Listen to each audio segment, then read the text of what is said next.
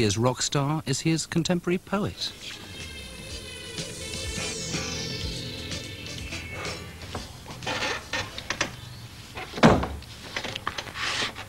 Danger signal. Note of warning. Trap door, trap for the unwary. Prophylaxis.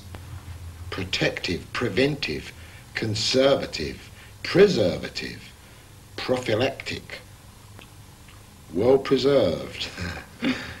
Inexpertness, inexpertise, gaucherie, greenness, frustration. Hopes unrealised. I think this book's trying to tell me something.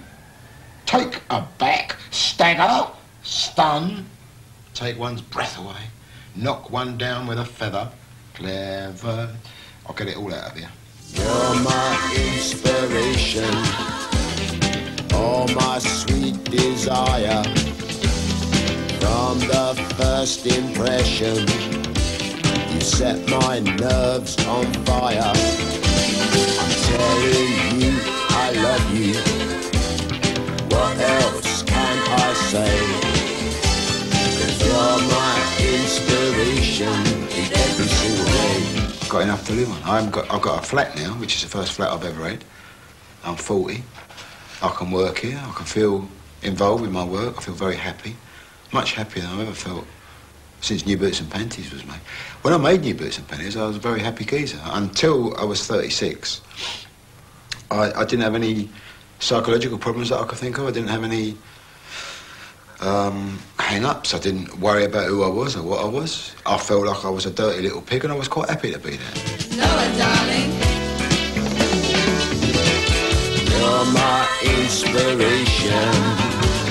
I love you. Stop it, Cat. Then I stopped being. I started being required to be, not Des O'Connor, but along those lines, a, a household name. People can't say, you're a household name now, you know. I felt like a piece of Tupperware. I felt like I'd been ordinaried, like I'd become plastic. I almost can't believe it.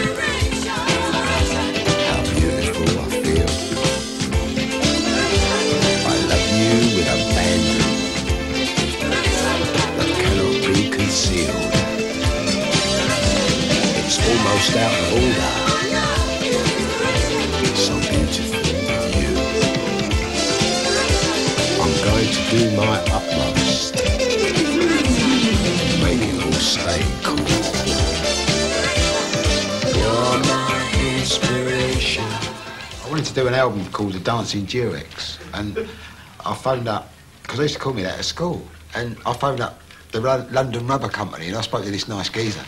I said, well, you know, he said, well, we don't want it to become a generic, do we? I said, I thought it already, already was a generic.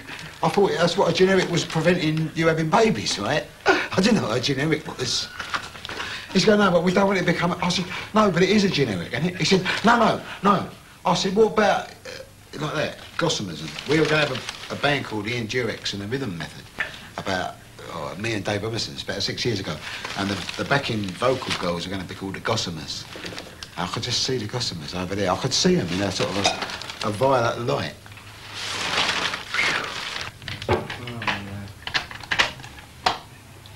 You're my inspiration. It is a bloody business. informs thus to my eye. Now, o'er the one half world, nature seems dead. T.S. Eliot said that the immature artist plagiarizes Lay after all the sorrows and pro- and the mature artist steals. And one of these days I'm going to grow up. in the deserts of Sudan and the gardens of Japan. From Milan to Yucatan, every woman's, every man. Hit me with your rhythm stick. Hit me, hit me. Je t'adore, ich liebe dich. Hit me, hit me, hit me. Hit me with your rhythm stick. Hit me slowly, hit me quick. Hit me, hit me, hit me. Well, it hit me was a it was a kind of high point, and I should have stopped then and gone away and had a good old think and try and got my spirit back because my spirit was definitely on a wobbly, partly because I was very tired and we all were, all the band were, but partly because it had seemed to get out of hand, you know, it seemed to be all about making bread and all about being famous. I didn't used to be like that. I really didn't have the bollocks to stop, so I didn't stop. Hit me with your rhythm stick. Hit me, hit me. Das ist gut, fantastic.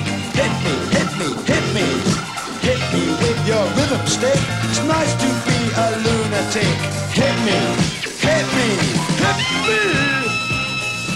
When Ian gets going and with a rock and roll band, we're talking about 16 people all drawing £10,000 a year is £160,000 a year.